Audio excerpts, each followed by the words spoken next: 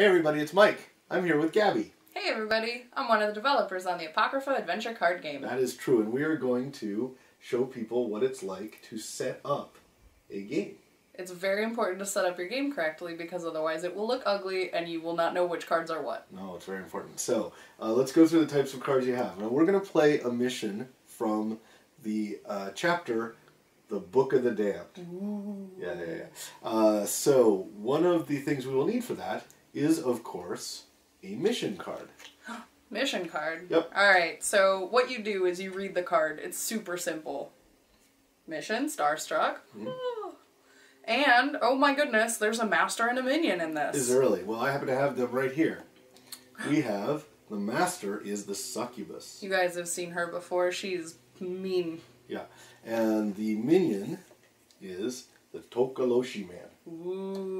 So you'll actually be fighting one master during this scenario. This would, in this case, the succubus, and several Tokoloshe mans, men, Tokoloshes. Yes, several of those. So there'll be three of those because we'll end up building four Nexus decks. But uh, these guys specifically do not get put in those decks. No, So we're just gonna go ahead and set those right up here. that's right.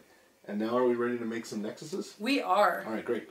We have uh, Oh, four let me nexuses. let me make sure we so your Nexus list is listed right here on the card. So, do you have a Run and Go Mega Mart? right here. Do you have a Big Edie's Big Fun Park? I do. Do you have a District One station? Yep. And the sewers. Yep. So, if you look at a Nexus card, uh, the list here on the mission card, you'll see that these have a one next to them because you play that if you have no friends and you're playing single player or you just feel kind of antisocial that day. Nothing wrong with that. And when you have two people, like Mike and I have, Yes, you add the sewers. that's right. So uh, we then need to build these nexus decks. Right, through the magic of pre pre-made stuff, we've learned the secret from Martha Stewart. Very helpful. We just go ahead and put these stacks out. They're pre-built. Uh, what what's in a Nexus, Mike? Well, each deck's each deck list is going to be different for each Mm-hmm. nexus. Um, so, for example, the sewers here is one body card, zero mind cards, one rage card, four threats. It's very thready. That's full of threats. Yeah. Uh, two omens, zero soul cards, and one true threat. Well, Oh no, not- a true threat. It's not that surprising.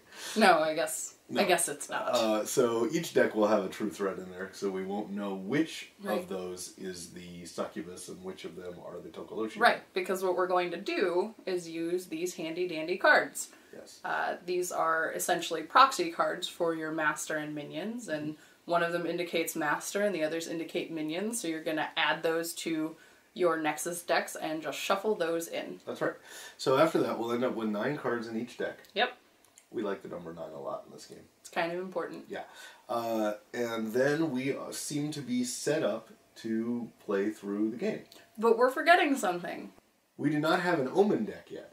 But we do. Oh, that's great. You have one pre-made. That's right. It's 30 cards. It sure is. And what's in those? So cards? we've got some omens. So an omen will have something on it. Uh, sometimes it's good, sometimes it's bad.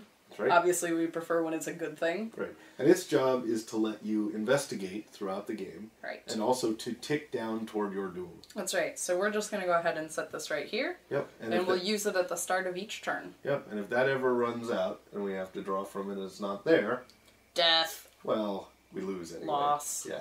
It's, death and like loss that. are kind of the same, there's a right? lot. Of, there's a lot of similarities to those things. Yeah. Um, so uh, now we have a fully set up game. Hooray! That's good.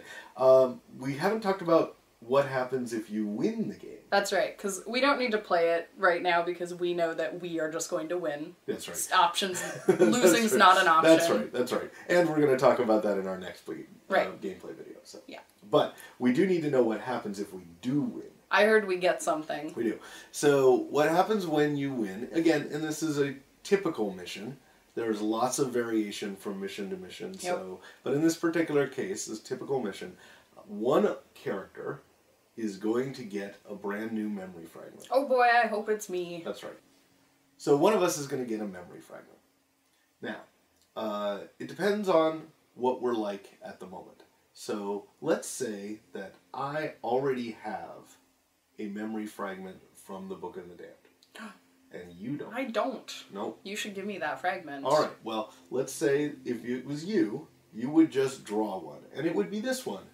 The operating room, full of kittens and smiles. I think it's exactly not that operating room. No, the words drip, drop, drip off the edge of the blades is on here, so true. less So- kittens and smiles. Yeah, yeah, yeah. Um, I, I'll get you a game that's filled with kittens and smiles. This ain't it.